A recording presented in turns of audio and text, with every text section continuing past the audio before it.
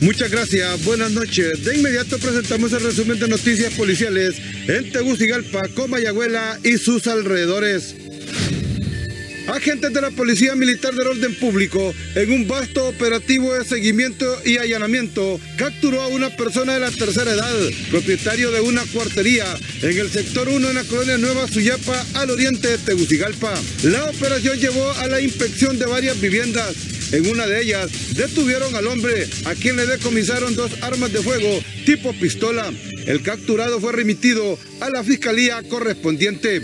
Este día ha realizado operaciones de allanamiento en el sector de la Nueva Suyapa, donde se ha dado detención a un ciudadano a quien se le ha decomisado un arma de fuego calibre 25, un arma de fuego calibre 38, cinco cartuchos calibre 38 milímetros sin percutar y también dos eh, cartuchos calibre 25 milímetros. Esta es una operación que realizó personal de investigación de la Policía Militar en coordinación con el primer batallón de Policía Militar en el sector de Suyapa. En otra operación realizada en el sector El Picachito, en el marco de la Operación Independencia, la Fuerza Nacional Antimaras y Pandillas, en conjunto con agentes de la Policía Militar del Orden Público, detuvieron a un menor de edad, supuestamente miembro activo del combo que no se deja, y según las autoridades, es un evasor de la justicia.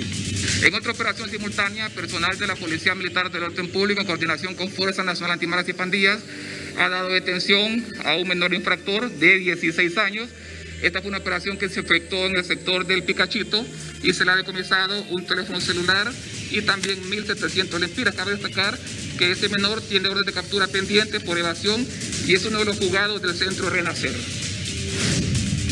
La Fuerza Armada de Honduras, a través de los escudos aéreo, marítimo y terrestre, ha intensificado las operaciones en contra del narcotráfico con la finalidad de evitar el trasiego de droga en el territorio hondureño, específicamente en el departamento de Gracias a Dios. Hemos incrementado las operaciones, hemos realizado una serie de operaciones en esos sectores y el producto de ello es que se ha logrado incautar gran cantidad de droga, se han logrado identificar plantaciones de, de plantas de coca y pues se están destruyendo la flota aérea hondureña se sigue renovando pese a la recesión económica. La Fuerza Aérea Hondureña, quienes son los garantes de mantener en buen estado las unidades. Bueno, estamos trabajando bastante.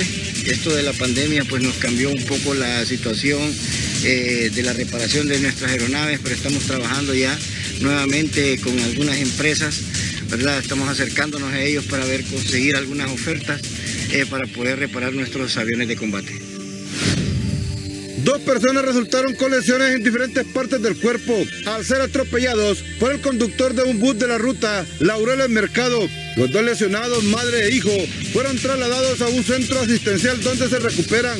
El accidente se registró en Comayagüela a la altura del mercado Mamachepa. Pobladores de la colonia La Esperanza en Tegucigalpa exigen la rendición de cuentas a las autoridades del patronato y el cambio de junta directiva. Eh, son más de ocho años donde la Junta y el patronato perdón, de la colonia no ha hecho absolutamente nada. Ustedes son testigos de cómo están yéndose casas abajo por la quebrada. Tenemos un centro comunal que es desastroso lastimosamente, no por ellos, está así todo arreglado por ONGs que han venido a ayudar. ¿Dónde está el dinero de esta antena? Me pregunto que es de alquiler. ¿Dónde está? ¿Dónde está el dinero del parqueo? ¿Dónde está el dinero de los alcohólicos anónimos que alquilan un local? ¿A dónde va a caer ese dinero? Porque si usted puede ver, no hay alumbrado público, hay calles sin pavimentar todavía. Vinieron aquí a este lado, todo lado ha sido pavimentado, excepto este de nosotros. Para HCH Noticias, con imágenes de César Reyes y Manuel Rojas y la edición de Gustavo Cortés, les informó Nelson Sorto.